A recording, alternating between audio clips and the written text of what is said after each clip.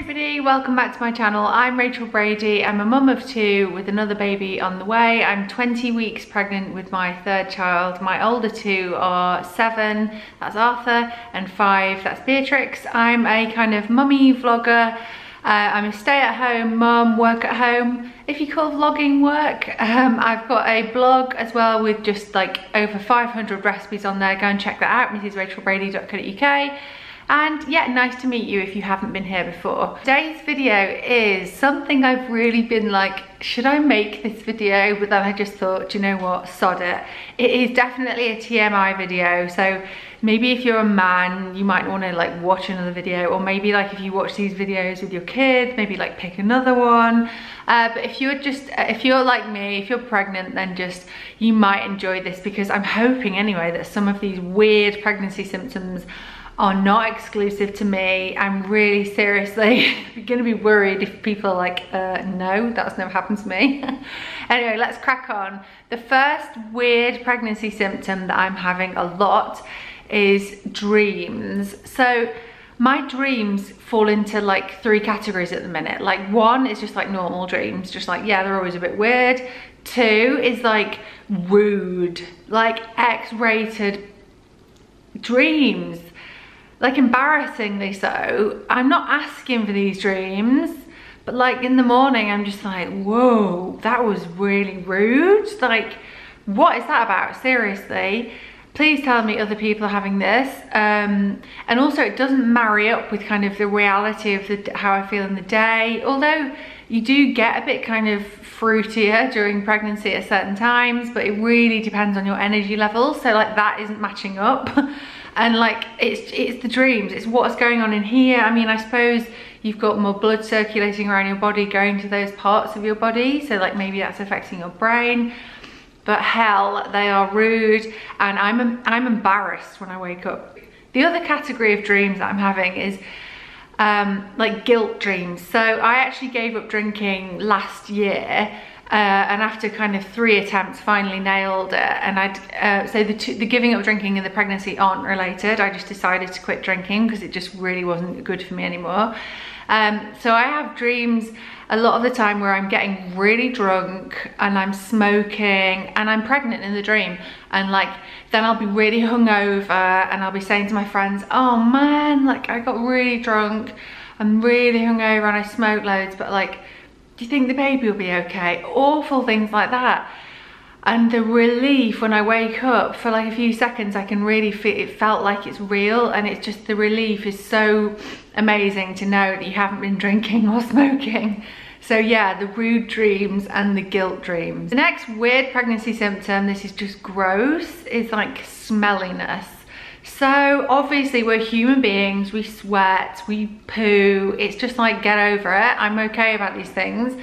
But I swear to God, like normally I could definitely skip a day of a shower and I wouldn't smell.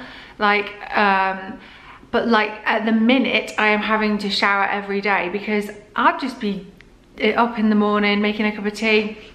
Whoa, like I can, like it's whiffy, I'm whiffy.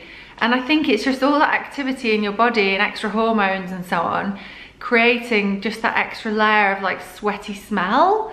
Um, and it's just not the greatest. It's, it's like, you know, I tried an eco deodorant recently and that was just not cutting the mustard at all.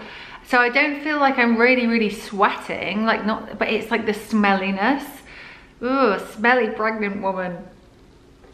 Let's talk about toileting, okay? Let's talk about poo. So, my issue with pregnancy pooing, it starts with the fact that I always go a bit anemic and I always have to take ferrous sulfate, which is like an iron supplement. It's like a hardcore iron supplement. Um, and I have to take three tablets a day. So the first thing that that does is make your poo black. So I have black poo and also the second thing it does is make you really is make poo like really hard. So I don't i don't just have black poo i have black poo that looks like kind of rabbit poo. It's also constipating so i have piles. Oh man this is probably the worst side of of all of the symptoms. The other ones are just a bit weird and inconvenient. This is like it's oh the piles is oh i just I, I keep kind of mentioning it to adam. Maybe i shouldn't that's gross and he's like, you need to go to the doctors. But they're not at a stage yet where it's like affecting my life or anything. But like, I know once I'm pushing that baby, that's gonna get worse. The piles are, you know, I remember last time, I never had piles before I had children. Like I think the first time I had piles was my first pregnancy at this stage. And then obviously you're pushing a baby and I just remember the stitch, the combination of like stitches and piles. Oh God, so much to look forward to. Next weird symptom, it's probably the, uh, although toileting and poo and all those things aren't nice, like things to deal with, this is probably the most emotionally difficult and it's moods. Um, so in my first trimester, trimester, I had occasional rage outbursts and I thought that they'd passed, but then I had another one yesterday uh, in response to just a comment that um, Adam made. It was a bit of a, it was a bit of an annoying comment, but I just completely overreacted. And also with the children, I think yesterday was a really tough day for me for reasons I can't go into here. Emotionally, it was a tough day. Uh, and I think you're really sensitive as a pregnant woman. You're carrying a lot of stress and you're, but you're also in a protective like state. So if people push your boundaries or overstep the mark or if the kids really test you, for me anyway, and I don't like it and I'm not proud of it, but I will slip over really quickly into that kind of red mist rage where I'm like, my voice changes and I'm like, uh, and it really takes it out of me um, emotionally afterwards as well. So it's like exhausting. But I can flip, and thankfully now I'm in the second trimester.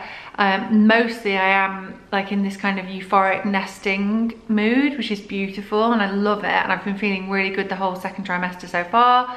But yeah, I thought the rage had passed, but it's not passed. I still am getting these little bits of rage, and um, they're really hard to deal with. Um, so please tell me you get them too so I don't feel like a psycho. The last weird, gross uh, pregnancy symptom is just like the amount of growth that's going on. so like hair growth, hair's going really quick. I had my hair cut short and it's growing back so quick. Like eyebrows, I had to go and get my eyebrows waxed.